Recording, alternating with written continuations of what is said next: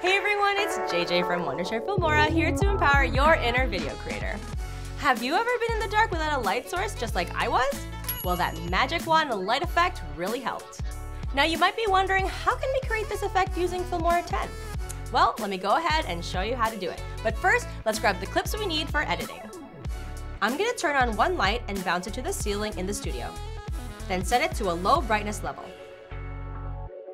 This gives a subtle light that looks like moonlight. Now let's frame the subject. To produce the best results, make sure to place the camera on a tripod or a steady surface. A stable frame can make the editing much easier. Make sure to frame the subject carefully because we'll have another person standing next to the subject controlling the light, and we don't want to see that person. We're going to use a small LED light to imitate the magic wand's light. According to the subject's movement, turn the LED light at the same time and move it with the magic wand. Okay, so now that we have our clips that we need, let's bring it into Filmora 10 to edit. Drag and drop the clip onto the first video track on the timeline.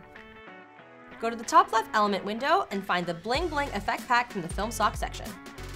I'm going to choose the Bling Bling Element 6 and drop it into the second video track.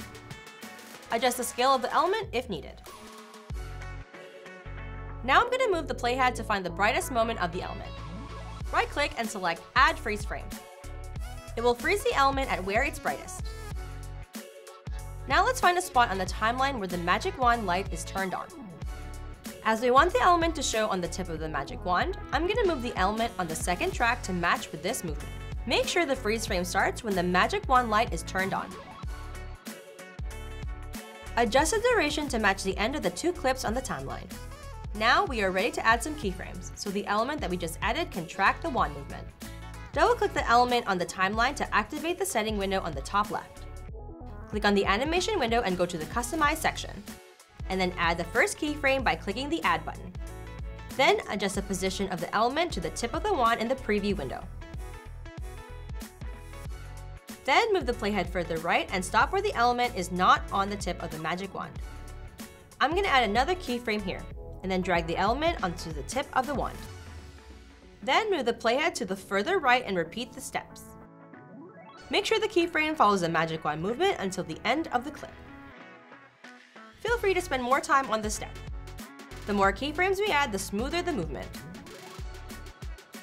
Alright, let's take a look at the results.